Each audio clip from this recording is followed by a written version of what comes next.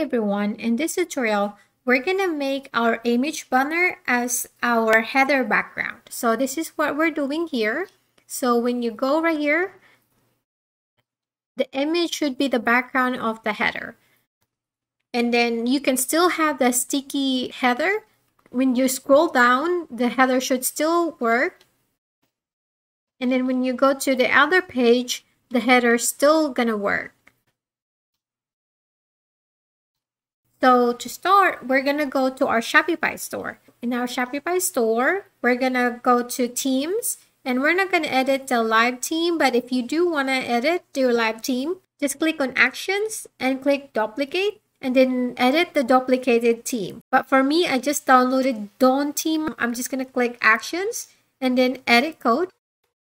And then we're just going to expand our screen. We're going to go to our section folder. We're going to look for header liquid. So header right here. Open that. And first we're going to go is to find our sticky header right here. And we're going to delete this color section settings color scheme gradient. We're going to delete that.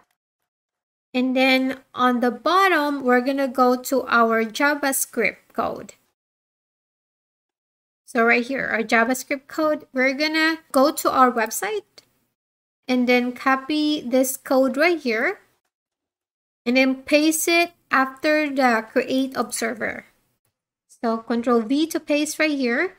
See my note right here, this is different from yours. So what we're gonna do is go to our customize theme, right click, and then open a new tab. And in here, we're gonna right click the banner to open the DevTools. So right click and click inspect. So we see right here, we have this banner. So when we hover, the banner should get highlighted. So what we're looking is the section ID for this banner.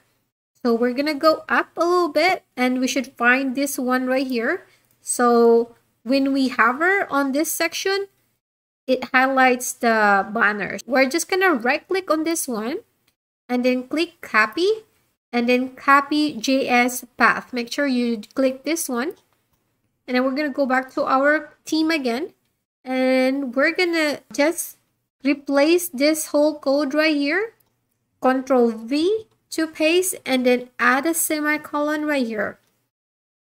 And next, we're going to go to our website again. And we're going to grab this code right here and we're going to find the on scroll function.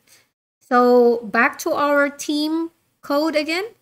We're going to go to on scroll and we're going to paste this code after the const scroll top. So after this, hit enter and then control V.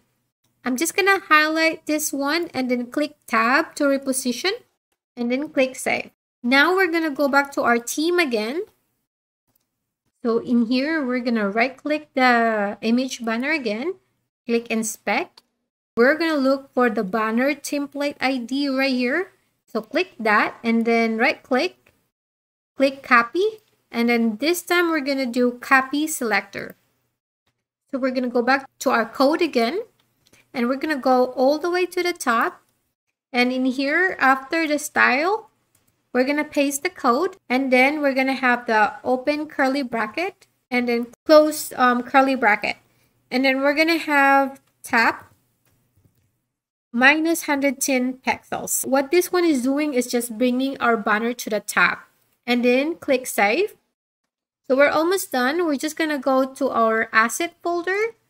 We're going to open the base.css file in the asset folder and then we're gonna look for header wrapper. So control F to find and then we're gonna type header dash wrapper. So in here we see this background color right here. We're gonna delete that and then click save. And I believe that's it. We're just gonna go back to our theme editor again and then click refresh. That's it um, your header would be on the top, but the announcement bar it would be a different one. So you just have to hide this um, announcement bar or just change the color. But this is how we have our header. So let's put an image in here. So select an image and let's do this one. and then click save. Okay, and that is working. And if you don't want that spacer right here, you're just gonna go go to the header and then uh, unclick the show separator line. So that should be working. The sticky header should be working as well. And if we go to the other page, it should still work. Okay, and that's it. Let me know if you have any question. Don't forget to subscribe. Thank you so much for watching.